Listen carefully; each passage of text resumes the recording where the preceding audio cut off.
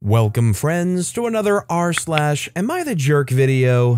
Before we answer some hard hitting questions, could you answer mine in could you hit the like and subscribe buttons down below? That said, our first story of the day is by Eunice Beg. Am I the jerk for allowing my stepson to call me dad? My wife, 39 year old female, and I, 36 year old male, got married and moved in together last year after three years of dating. She has a son, 15 year old male, with her ex husband, 42 year old male. He was never harmful to any of them, but he used to be extremely cold, emotionally distant, and easily irritable. So my wife divorced him when the kid was 8. Since then, he's constantly tried to be involved in his life, but the child doesn't like him at all. He tries to make a man out of him, but the son's a huge softie, which is obviously an inherent incompatibility. He views his dad's approach as him not being accepting of who he is. I met the kiddo when he was 12. I'd already been dating my wife for a year at that point, and we both knew that things were going to get serious. So it was the right time. I instantly felt a connection to him,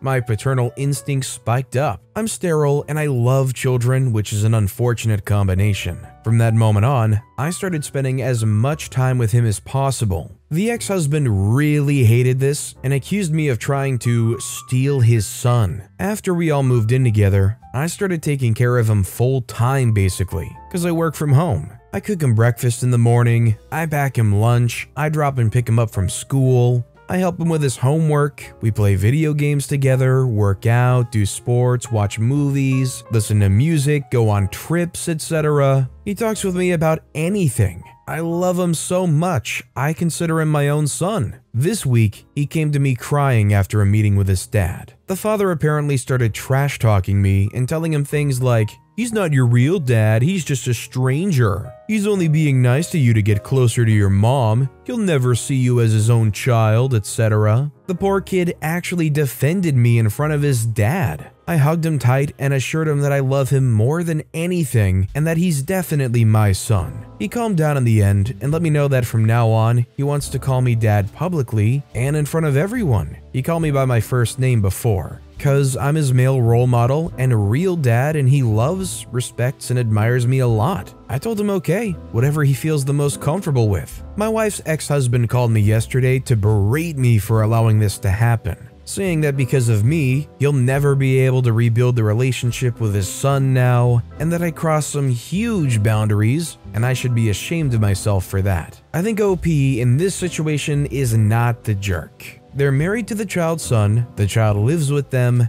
OP takes care of them, spends time with them, builds them up, and like the own kid said, is a role model to this kid and loves them like their very own. So I think it's totally okay. I can understand the other dad feeling jealous or maybe even infringed upon, but it is what it is. Do you think OP's a jerk for letting their stepson in this situation call them dad? Let me know in the comments down below. This next story is by Funsteak3167. Am I the jerk for leaving a child with a babysitter without the mother's permission and then being rude? I've been traveling for work for three months. I matched in an app with a woman who lives a few meters from my temporary apartment. After a few days of talking, we met a few times, and she told me that she's a single mother. We're just hanging out casually, and I wouldn't say we're friends, but we talk every day. Over the weekend, she showed up at my house with her daughter I had never seen before. It was a six year old girl. I was quite surprised and uncomfortable with this. Angela said she had an emergency at work and couldn't find a babysitter in time. We briefly discussed how awkward it was for her to just throw a child at my house. Angela started crying, saying that she had no support network and needed me. I thought that was kind of manipulative, but I agreed. An hour passed and the girl was quiet. I put a Disney movie on TV and started making dinner. I got a call from my boss asking me to go to the office. I was kind of desperate. I talked about having a kid at home, and he said he could send a babysitter to my apartment. I sent a message to Angela. When the babysitter arrived, I told her that maybe Angela would come get the child, and I went to work. I worked for four hours, and when I got home, only the babysitter was there. She said that Angela actually picked up the girl, and I paid for the service. On Monday, Angela sent several messages saying that I was a jerk for leaving her daughter with a stranger and that she had entrusted the child only to me. I was extremely irritated and replied that I was also a stranger. I said, What kind of mother leaves a six year old girl with a guy she just met? I was immediately blocked on all social media. I vented to a few friends, and some said it's very impolite to question a woman's abilities as a mother. Am I the jerk? I think OP's not the jerk,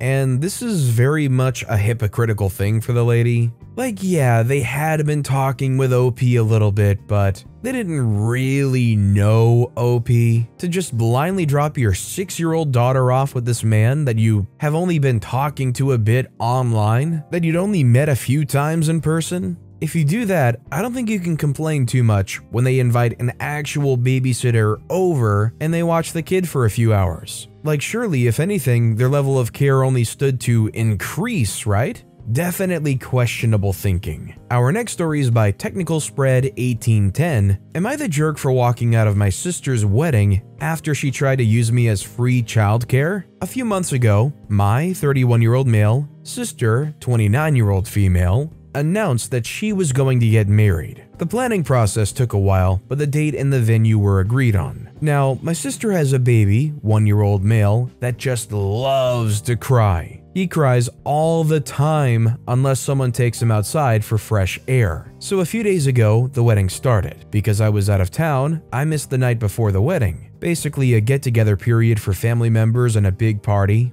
but showed up for the ceremony and reception. The second I got there, my sister asked me to take the baby outside in order to calm him down. I agreed because the ceremony hadn't started yet, but she asked me to take the baby outside again a while later. When I asked why the baby didn't have a sitter, she said that they spent all the money on the ceremony and parties. I was kind of annoyed because I wanted to sit in on the ceremony, but just about everyone jumped on me telling me to do my sister a favor and that it was her day. I asked her about when I was expected to take the baby out for fresh air, and she gave me this huge list of times that basically meant I missed out on the important parts. I wouldn't be there for the exchanging of vows, the reception, the aisle walk, the readings, the kiss, etc. I figured out that in total, I would have about 30 minutes actually sitting inside and the rest was just about the baby. When I pointed this out to her, she said someone would videotape it for me, but I wasn't convinced. I wanted to watch my sister reach a milestone, and that was what I came for. I told her that someone else could watch the baby for her, and that as her brother, I wanted to watch the wedding and not have to miss her getting married. Again, she told me to just do it. I was really mad but tried not to show it on the outside. When I asked about the reception, she told me, Oh, you'll have to miss out. Baby's name needs to be outside and has to be fed. That was the final straw. And when my mother was holding the baby,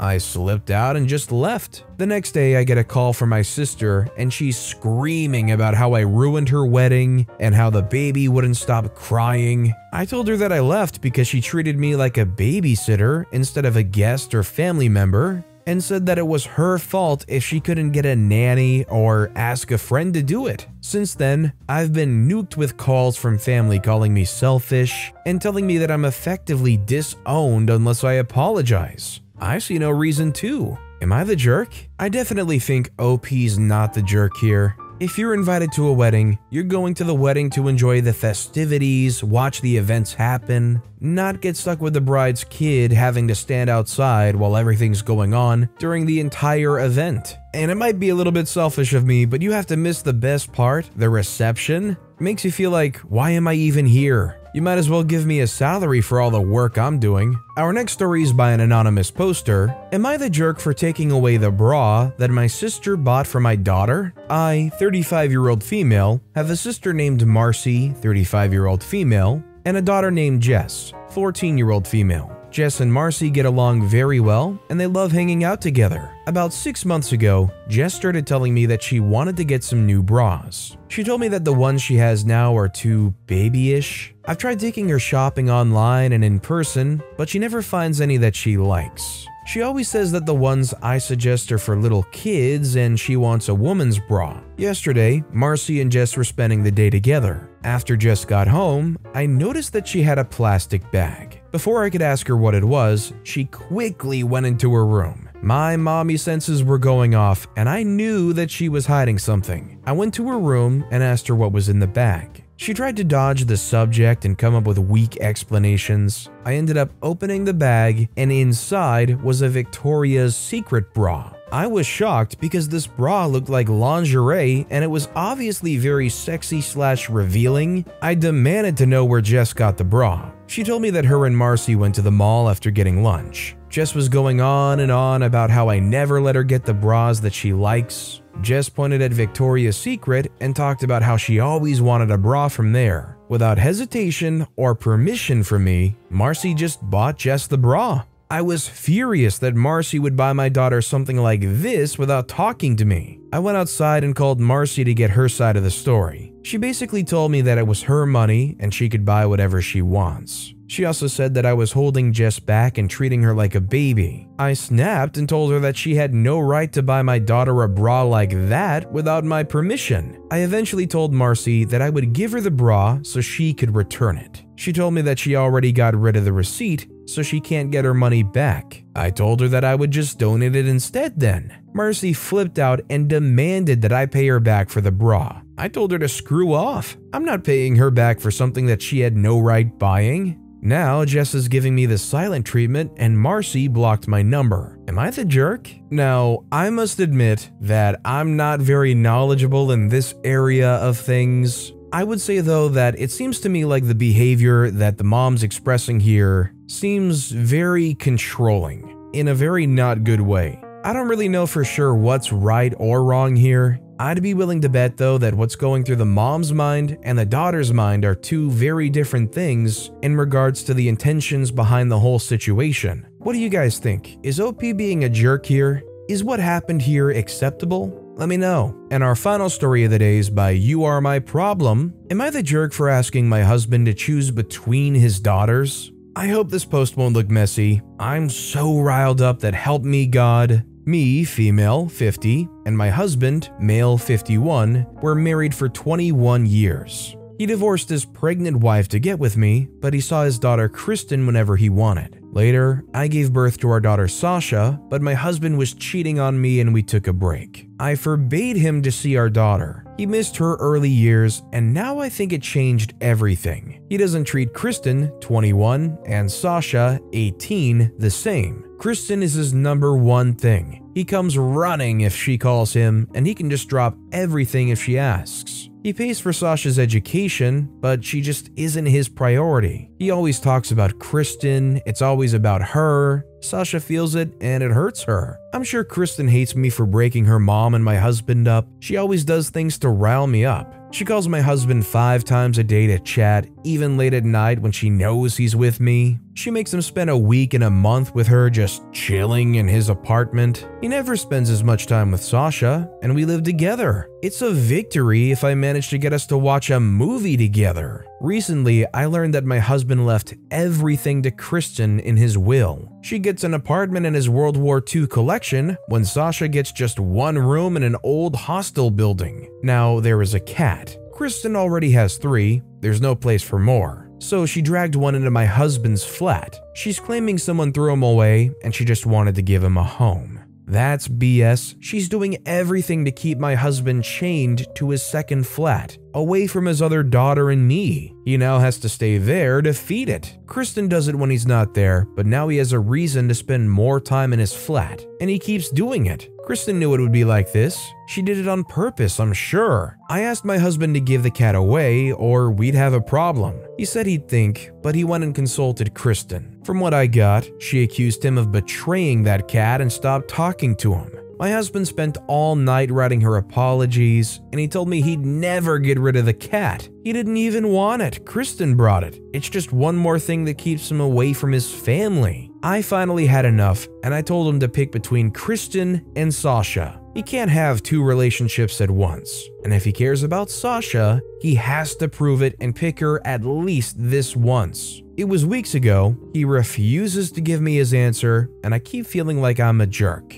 But then I get angry again. I know he loves Kristen, but maybe the threat to not seeing Sasha will make him realize he has another daughter who needs his attention. So, am I the jerk for wanting my husband to focus on our daughter for a change instead of constantly running around his first daughter? I don't really even know which way to go on this one. I'm thinking both sides might be jerks in this situation. OP got with a married man, had a kid, and then surprise, when they were cheating on them, they alienated them from their daughter, which obviously didn't help the bond. On the husband's side, they probably don't give enough attention to one of their daughters, gives their firstborn a lot more leeway than the second one. Do you guys agree that it seems like a safe bet just to say that both sides are kind of jerks? I'd like to know your guys' takes. But with that being said, that's all the time we have for today. So of all these stories I've read today, which is your favorite and why? Let me know in the comments down below. And if you haven't yet, if you could like and subscribe, that would mean a lot to me. Whatever you do, whether it's liking, subscribing, turning notifications on, all of it helps grow this channel and I appreciate the heck out of it.